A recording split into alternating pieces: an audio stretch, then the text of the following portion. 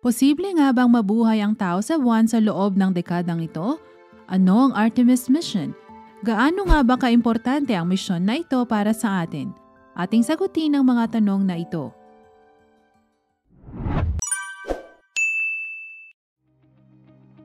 Moon Landing Noong 1959, ang Luna 2 ng Soviet Union ay nag-launch sa buwan. Ito ang naging unang human-made object na nakapunta sa buwan. Ten years later, noong 1969, ang Apollo 11 ng US ang unang crewed mission na nakapunta sa buwan. Sa panahon ng Apollo 11 programs, 12 male astronauts ang nakarating sa buwan sa pamamagitan ng 6th na misyon. At ngayon, after 50 years, ang Artemis mission na ipinangalan sa mythical twin sister ng Greek god na si Apollo ay nilunsad upang magpadala muli ng tao sa buwan.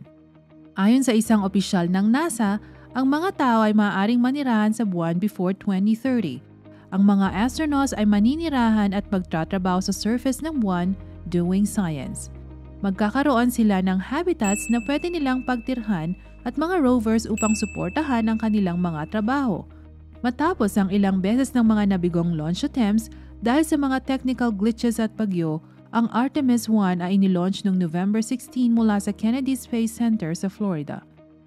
Alam mo ba kung ano ang Artemis mission plan na ito? Sa sentro ng programang Artemis ay ang bagong mega rocket ng NASA, ang Space Launch System at ang Orion spacecraft.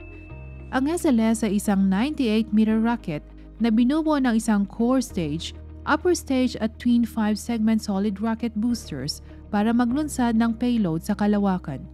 Para sa crewed Artemis missions, ilulunsad ng rocket ang Orion spacecraft sa buwan ang Orion ay isang space capsule na mas malaki kaysa sa Apollo Command Modules na idinisenyo upang dalhin ang apat na astronaut sa mga misyon sa buwan. Ano ang Artemis 1 mission? Last November 16, matagumpay na nailunsad ng NASA ang Artemis.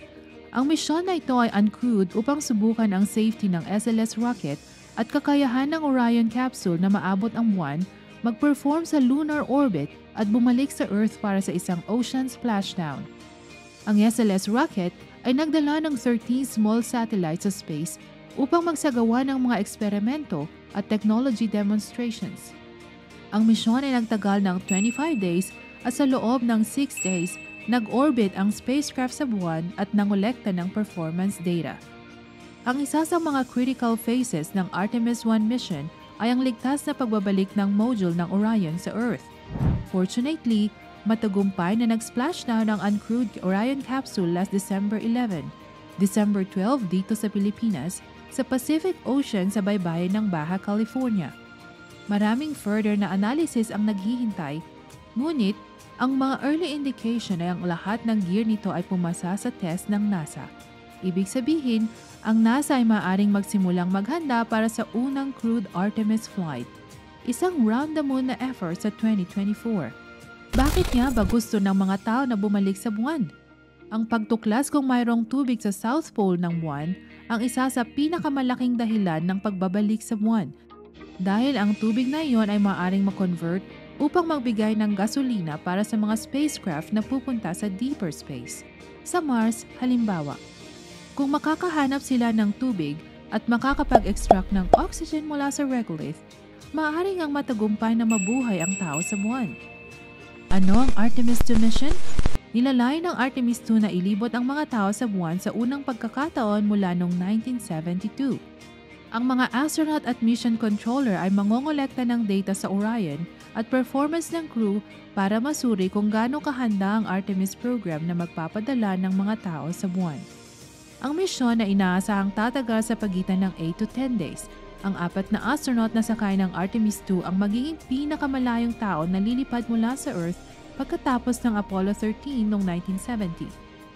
At kapag matagumpay din ito, ang susunod na misyon ay isang landing mission na tinatawag na Artemis 3 mission na maglaland sa surface ng buwan sa 2025. Ano naman ang Artemis 3 mission? Ang Artemis 3 ay ang third scheduled flight ng Artemis program Nilalay ng misyon na ito na ilagay ang mga tao sa buwan by 2025 assuming na walang problema sa mga previous na missions. Para sa paglapag sa buwan, gagamitin ng crew ang SpaceX Starship, isang sistema na ginagawa ngayon ng kumpanya ni Elon Musk para sa mga crewed human mission. Dito natin matutunghayan ang pagtapak ng next man at first woman sa lunar surface. Mananatili sila sa buwan ng around one week. Ano ang mangyayari pagkatapos ng Artemis 3? Ang planning after Artemis 3 ay hindi pa sigurado. Ngunit, ang NASA ay may early stage planning for the later 2020s. Ang Moon to Mars Planning Manifest ng NASA na inilabas kasama ang 2023 budget request nito ay nagmumungkahi ng Artemis 4 ay lulunsad sa 2027 para tumulong sa pagbuo ng gateway. Then, ang next human landing sa buwan ay ang Artemis 5 sa 2028.